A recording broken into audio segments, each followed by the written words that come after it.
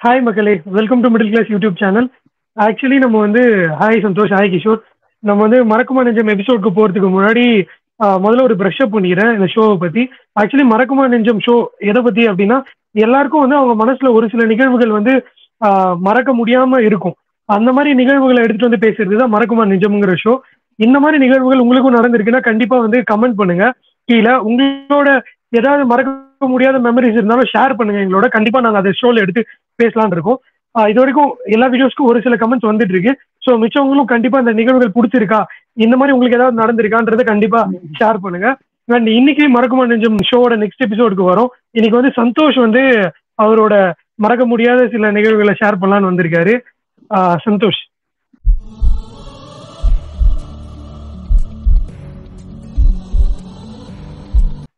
ஆக்சுவலா நான் இது சொல்றது கொஞ்சம் பில்டப்பா இருக்கலாம். அது கொஞ்சம் ஓவராகவும் இருக்கலாம்.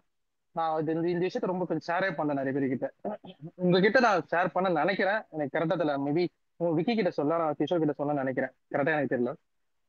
இது வந்து ஒரு five years four four to five years மேல இருக்கும். ரொம்ப வருஷத்துக்கு முன்னாடி நடந்திருக்க விஷயம் தான் இது வந்து கொஞ்சம் பில்டப்பா இருந்தாலும் அது உண்மை. நான் எப்படி சொல்றேன். இது வந்து நான் ஒரு ஒரு ஒரு ரேப் கேஸ் நடந்தது ஒரு டைம்ல ஆஷிஃபா பானுன்னு ஒரு ஒரு சின்ன குழந்தைய வந்து காஷ்மீர்ல வந்து ரேப் பண்ணியிருப்பாங்க. அது அதை பத்தி இருக்கும். ஸோ அப்போ நான் வந்து யூடியூப் சேனல் தான் பண்ணியிருந்தோம் நம்ம. அப்போ வந்து அது ஒரு ஷோ பண்ணியிருந்தோம். இந்த மாதிரி நியூஸ் சேனல்ஸ் பத்தி நம்ம பேச கிண்டல் பண்ற மாதிரி ஒரு ஷோஸ்லாம் பண்ணியிருப்போம். நியூஸ் பேப்பர்ல கிண்டலா போட்டுப்பாங்க. அப்போ அந்த மாதிரி இந்த நியூஸ் வந்தது. அந்த நியூஸ்ல வந்து நான் கொஞ்சம் டீட்டெயிலா படிக்க ஆரம்பிச்சேன். ஸோ அப்போ கொஞ்சம் டீட்டெயிலாக அடிக்கும்போது இந்த விஷயம் நடந்தது. நான் ஃபுல்லாக படித்தேன் எனக்கு ரொம்ப எமோஷனாக ஆயிடுச்சு இந்த மாதிரி ஒரு சம்பவம் ஒரு கஷ்டமான விஷயம் யாருமே நடந்திருக்காது. இது வரைக்கும் நான் இது வரைக்கும் கேள்விப்படல அப்படின்னு சொல்ற மாதிரி இருக்கும். எந்த கஷ்டமா இருந்தாலும் இந்த மாதிரி ஒரு கஷ்டம் அப்படி ஒரு ஃபுல் ஸ்டோரி இருந்திருக்கும். அந்த ஒரு விஷயம் நடந்திருக்கும். அது எனக்கு ரொம்ப பாதிச்சு அப்போ. அப்போ நம்ம சோஷியல் ரெஸ்பான்சிபிலிட்டி இருந்திருப்போம். நம்ம எல்லாருமே அந்த மாதிரி வீடியோஸ் பண்ணியிருப்போம் பண்ணிருப்போம் நம்ம. ஸோ அந்த மாதிரி பார்க்கும்போது எனக்கு ரொம்ப எமோஷன் ஆச்சு. என்னடா இது? ஒரு மாதிரி இருக்கேன்னு சொல்லி எனக்கு ஆக்சுவலி ஈவினிங் மாதிரி நான் படிச்சிருப்பேன். எனக்கு think அது சரியா நாவல்ல ஸோ அந்த டே ஆரம்பிக்குது. எனக்கு ஃபுல்லா நான் நைட் ஃபுல்லா எனக்கு யோசிக்கிறேன். அப்புறம் வந்து காலைல வந்து என் தம்பியை வந்து பிக்கப் பண்ணி இங்கே விடணும். வேலூர்ல விடணும். வேலூர் பேட்டைன்னு சொல்ல ஒரு கிராமத்துக்கு விடணும். ஸோ மெயின் ரயில்வே டவுன்ல இருந்து வேலூருக்கு அவங்க கிராமத்துல விடணும் என் தம்பியை. ஸோ அவரை பிக்கப் பண்ணி நான் வந்து விட போயிட்டேன். ஸோ அந்த கிராமத்துக்கு நான் விட்டுட்டு அவனை ரிட்டர்ன் வரும்போது என் மைண்ட் ஃபுல்லா அதுதான் மைண்ட்ல இருக்கு. ஸோ இதுக்கப்புறம் வந்து யார் வந்து பசங்க நம்புவாங்க? எனக்கு ரொம்ப ஸ்டேஷன் இருந்தால் ரொம்ப பில்டப்பா ரொம்ப யோசிக்க ஆரம்பிச்சிருவேன்.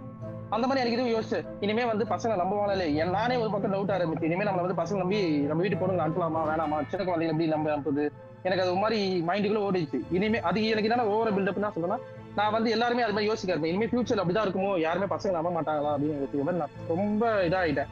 யோசிச்சு அப்படியே வந்துட்டு இருக்கேன். வந்துட்டு இருக்கும்போது ஒரு அது ஒரு ஒரு மூணு வில்லேஜ் தாண்டி தான் அவன் தம்பி விட்டேன்னு வச்சுங்க ஒரு ரெண்டு வில்லேஜ் ரிட்டர்ன் வரும்போது நான் வந்து ரிட்டர்ன் வந்திருக்கேன் விட்டுட்டு ஒரு ரெண்டு வில்லேஜ்ல ஒரு வில்லேஜ் தாண்டி இருப்பேன்னு வச்சுங்க தாண்டினதுக்கு அப்புறம் ஒரு திடீர்னு ஒரு லேடி வந்து கை போட்டு நித்துமா நித்துப்பா என் பொண்ணு வந்து ஸ்கூல்ல விட்டுருங்க அப்படின்னு சொல்லிடுவாங்க உங்களுக்கு புரியுற மாதிரி சொன்னா பசங்கன்னா விவேகானந்த ஸ்கூல்ல விட்டுருணும் இப்போ என்ன வந்து குழந்தைய விட்டுருப்பான்னு சொல்ல பஸ் மிஸ் பண்ணிட்டா சொல்லிட்டாங்க. எதுவுமே சொல்லல அவங்க பாடு அவங்க விட்டுருப்பா அந்த ஸ்கூல்ல விட்டுருப்பான்னு சொல்லிட்டாங்க. அந்த குழந்தையும் டக்குனு அந்த பொண்ணு வயசு அந்த போல நமக்கு அது தெரியும்ல என்ன வயசு? தெரியாது தெரியாதவங்க. உங்களுக்கு தெரியாதவங்க. அந்த ஊருக்கே நான் மிஞ்சி போனா இந்த வாழ்க்கையில அதுக்கு முன்னாடி வரைக்குமே ஒரு மூணு வாட்டி நாலு வாட்டி தான் போயிருப்பேன். இது வரைக்கும் போயிருக்க மாட்டேன். என்னை பார்த்தா அந்த வந்து அந்த ஊருக்கார மாதிரியும் தெரியாது. அப்ப நான் வந்து ராயல் ஃபைட் வச்சிருக்கேன். அந்த சைடு அந்த ஊர்ல அந்த மாதிரி இல்ல பைக் ஓவரா சொல்ல பில்டப்பா சொல்ல ஸோ அது என்னை பார்க்க லுக் அங்க இருக்கும்போது நான் அந்த ஊர்க்காரன் இருக்க மாதிரி இருக்காது. அந்த மாதிரி நான் லுக்ல போறேன். என்னை பார்த்து சடனா வந்து கை போட்டு கொ- பொண்ணை வந்து விட்டுட்டு போங்கப்பா அப்படின்னு சொல்றாங்க. எனக்கு வந்து நம்ம இப்பதான் யோசிச்சிருக்கோம். எப்படி அது? அவங்க என்னை நம்பி எப்படி அனுப்பலாம்? இந்த விஷயம் நடந்து நியூஸ்ல எல்லாருக்கும் தெரியுது. அது படிச்சாங்களா இல்லையானு தெரியாத மாதிரி நான் யோசிச்சிருக்கேன். என்ன ஒரு ஒரு பக்கம் அப்பயே எனக்கு இல்லையா?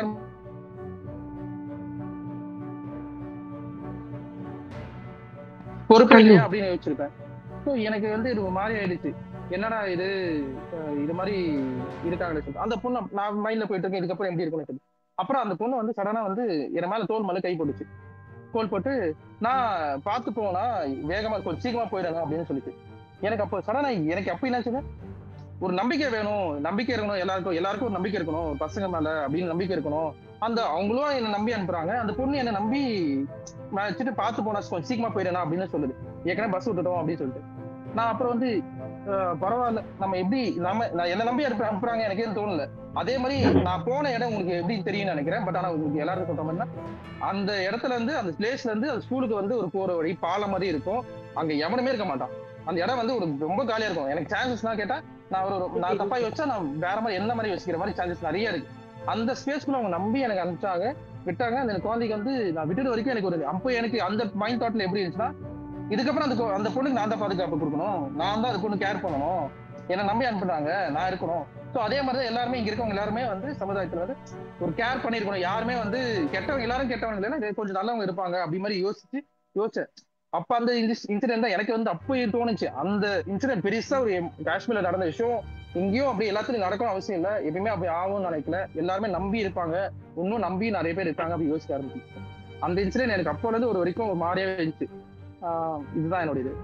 எனக்கு என்ன சொல்ல தோணுது அப்படின்னா அது ஆக்சுவலி உனக்கு வந்து ஒரு ஒரு அழுத்தம் இருந்ததுல அதை ரிலீஸ் பண்றதுக்காக நடந்த ஒரு இன்சிடென்ட் மாதிரி தான் இருக்கு. நம்மளே நம்மள டவுட் பண்ணி செல்ஃப் டவுட்ஸ் வந்து நிறைய கிரியேட் ஆகும். நம்ம வந்து சப்போஸ் வந்து அந்த மாதிரி தனிமையில யாரையாவது கூட்டு போறதுக்கான சுச்சுவேஷனா நடக்குதுன்னா அப்போ நம்ம எப்படி இருப்போம்? அந்த மாதிரி ஒரு செல்ஃப் டவுட் வருதுன்னா நம்ம வந்து யோசிக்க ஆரம்பிக்கிறோம். இந்த மாதிரி ஒருத்தங்க குழந்தைங்களை குழந்தைங்கள தனியா இருக்காங்கன்றப்போ இந்த மாதிரி தப்புகள் நடக்குதுன்றப்போ அப்போ நம்ம அந்த சூழ்நிலையில இருந்தா நம்ம என்ன பண்ணுவோம் அப்படின்னு உனக்கு ஒரு பெரிய அழுத்தம் உங்க மனசுக்குள்ள மேபி நடந்திருக்கலாம். ஸோ அது உனக்கே கிளாரிஃபை பண்ற மாதிரி நீ என்ன மாதிரி ஒரு பர்சன் தெரிஞ்சுக்கிறதுக்கு ஒரு பதில் கிடைச்ச மாதிரி தான் எனக்கு தெரியுது. அண்ட் மக்கள் எப்பவுமே வந்து நம்பிக்கைக்கு குறைஞ்சவங்க இல்லை. நீங்க காஷ்மீர்லயே திருப்பி எடுத்துட்டோம் நம்ம இங்க சொல்றோம். காஷ்மீர்லயே கூட திருப்பி யாருக்கிட்டயும் நம்பி அனுப்புவாங்க. மனுஷங்களை தான் மனுஷங்க நம்புறாங்க இப்போ வரைக்கும். ஸோ அதுக்காகவே நம்ம வந்து மனிதாபிமானத்தோட நடந்துக்கணும் அப்படின்றதுதான் என்னோட தாட் கிஷோர்? ஆல்ரெடி சந்தோஷ் சொன்ன மாதிரி இந்த ஸ்டோரி என்கிட்ட சொல்லியிருக்கான். எனக்கு தெரியும். அதுதான் நம்ம ஊர். விக்கி சொன்ன மாதிரி தான் எல்லா ஊர்லயும் இன்னும் நம்பிட்டு இருக்காங்க. இன்னும் நம்ம சைட்ல எல்லாம் வந்து தம்பி என்ன பக்கம் போறியா? நம்ம ஏரியாலே நான் எடுத்துக்குன்னா தம்பி பாப்பா விட்டு போயிருப்பா. அந்த மாதிரிலாம் சொல்லுவாங்க. அந்த மாதிரி அந்த ஊர்ல இருந்து வரப்போ அவங்களும் பண்ணியிருக்காங்க. பட் அவங்க பெரிய ஆச்சரியமான விஷயம் தான். ஒரு ஸ்ட்ரேஞ்ச் பர்சன் தெரியாதவன் முன்ன பின்ன பாத்துட்டு கூட இல்ல. எதுவும் கேட்கவும் கேட்கல. நீங்க எந்த பக்கம் போறீங்களோ கேட்கல. ஆனா அந்த அந்த ரோட்ல அந்த வழியில் தான் போய் ஆகணும். வேற ஆப்ஷன் இல்ல. அதனால அந்த பாப்பாவை ஏட்டிக்க சொல்லிட்டாங்க. அது அதான் மனுஷனை தான் ஜட்ஜ் பண்ண முடியாது. யார் எப்படி இருப்பாங்கன்னு தெரியாதுன்றது நேத்தோ விக்கி சொன்னான். ஏதோ சம்திங் தமிழ்ல சொன்னான். அதனால கரெக்ட் ஓகே சந்தோஷ் ஏதாவது சொல்றேன்னா சொல்லு இல்லைன்னா ஃபினிஷ் பண்ணிடலாம். உனக்கு அதுக்கப்புறம் எப்படி இருந்தது எக்ஸ்பீரியன்ஸ் என்ன ரியலைசேஷன் நடந்தது? அதுதான் இந்த இந்த கதை வந்து நீ சொல்றது போல சடனா ஒரு விஷயம் நமக்கு அழுத்தம் இருந்துச்சு. அந்த அழுத்தத்தை வந்து ரிலீஃப் பண்றதுக்கு ஒரு காரணம் நடக்கும்ல. அது எனக்கு அப்பப்ப நடந்தது. ஐ மீன் ஒன் டே பிஃபோர் நான் பார்த்தேன். இது மாதிரி நடந்தது. இது வந்து யாரு கேட்டாலும் நம்ப மாதிரி நம்புற மாதிரி இருக்குமா கேட்டேன் என்னையே நான் இந்த விஷயத்தை நான் சொல்லி பார்க்கும்போது நம்புற மாதிரியே இருக்காது. அந்த மாதிரி இருந்துச்சு ஒரு இன்சிடென்ட் நம்மள வந்து பிரேக் பண்றதுக்காகவே ஒரு விஷயம் நடந்த மாதிரியே இருந்துச்சு எனக்கு அப்போ. அப்புறம் வந்து அது கொஞ்சம் இதுவும் கொஞ்சம் ஓவர் பில்டப்பா இருந்தாலும் அந்த பொண்ணு என் கை வச்சது ஒரு நம்பிக்கை வந்துச்சு. அந்த பொண்ணு எனக்கு நம்புதில்ல எனக்கு நம்பிக்கை கொடுக்குதுல ஹோப் மாதிரி கொடுக்குதுல அதை விட நம்மளுக்கு எந்த ஹோப்புமே தேவையில்ல. அந்த இடத்துல யாரா வந்தாலும் நான் பாத்துலாம் வாடா அந்த பொண்ணை நான் பாத்துட்டு கூட்டு போறேன்டா அப்படின்னு சொல்ற மாதிரி இருக்கும். அந்த பொண்ணை நான் விட்டுட்டு போகும்போது எனக்கு இன்னுமே சொல்லணும்னா அந்த இன்னும் அந்த சீன் ஞாபகம் இருக்கு நான் சொல்ல முடியாது. அந்த அந்த நினைவு சொல்லணும் அந்த பொண்ணு மனசுல இருக்கு. விட்டுட்டேன். ஆ ஆமா மனசுல இருக்கு. அப்படியே அந்த வந்து அந்த பொண்ணை நான் விடுறேன். விட்டுட்டதுக்கு அப்புறம் வந்து அந்த பொண்ணு எனக்கு சொல்லுது பார்த்து போனா அப்படின்னு சொல்லுது. இதெல்லாம் ரொம்ப சாதாரணமா வார்த்தையா இருந்தாலும் எனக்கு அப்போ எனக்கு வந்து ஆஹ் பார்த்து போனான்னு சொல்றேன். இதுக்கப்புறம் என்னடா வேணும்? அப்படின்னு சொல்றேன் இந்த படத்துல எல்லாம் சொல்லுவாங்கல்ல அண்ணான்னு ஒரு வார்த்தைக்காக வந்து வில்ல வந்து ஹீரோ வந்து வில்லன் எல்லாத்தையும் அடிப்பாங்க. அந்த மாதிரி எனக்கு அந்த நேரத்துல இருந்துச்சு. பார்த்து போனான்னு சொன்ன மாதிரி ஓகே நம்ம மாறி பண்ணிட்டோம் அப்படின்னு சொல்ற மாதிரி இருந்துச்சு எனக்கு அப்போ. ஓகே. கேட்கவே ரொம்ப ஹாப்பியா தான் இருக்கு. அண்ட் இந்த மாதிரி மக்கள் இருக்கப்போ தான் வந்து நம்பிக்கையும் வரும். இன்னொருத்தவங்க மேல நம்பி அனுப்பலாம்னு. ஸோ அவங்களுக்கு அன்னைக்கு ஏதாவது ஒரு பேட் எக்ஸ்பீரியன்ஸ் வந்துருக்குன்னா அது வந்து ஒரு எக்ஸாம்பிளா செட் ஆயிருக்கும் அவங்க லைஃபுக்கு ஸோ அதனால நம்மளும் கொண்டு- கூட கொஞ்சம் கேர்ஃபுல்லாகவும் கவனமாகவும் நடந்துக்கணும் அப்படின்றது தான் இது வந்து தெரியுது. அண்ட் உனக்கு அது வந்து உன்னை செல்ஃப் ரியலைசேஷன் பண்றதுக்காக ஒரு நடந்த ஒரு இன்சிடென்ட் மாதிரி தான் நான் பாக்குறேன் ஸோ இந்த மாதிரி ஏதாவது உங்களுக்கு மனசுல நீங்காத இடம் பிடிச்ச நிகழ்வுகள் இருக்குன்னா கண்டிப்பா கமெண்ட் பண்ணுங்க. அது அந்த மாதிரி ஒரு வேற எபிசோட நாளைக்கு வந்து உங்களை மீட் பண்றோம். அது வரைக்கும் உங்க எல்லாருக்கிட்ட இருந்து பாய்